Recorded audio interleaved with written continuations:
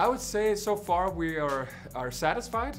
Uh, it's definitely uh, acceptable and, and before the tournament started we looked you know obviously at the first games there and uh, I think if, if someone told us that we'd have five points after after the first four games we would definitely be happy. I gotta give it to, to Great Britain. Uh, I think they are, are even better than they were two years ago. I think we expected that things would come a little bit easier for us. They have great offensive skill now. They don't sit back at all. They really try to score when they get the puck. So, so at the end of the game, when we were done, of course, we were hoping to get the three points, but I think at the end we were a little bit relieved that we at least got two points and still got the win.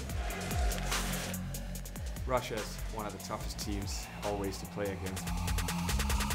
We had a game plan to play disciplined and the guys were blocking shots. I think there's a fantastic film shot of, of one of the guys sliding into the camera uh, uh, and blocking a shot with his legs and, and uh, that's what we want in a game like that. I think we're gonna see a game where both teams are playing very tight as the game goes on, the power plays are going to be crucial. It's a key game for both teams. It's uh, who has the chance for the quarterfinals.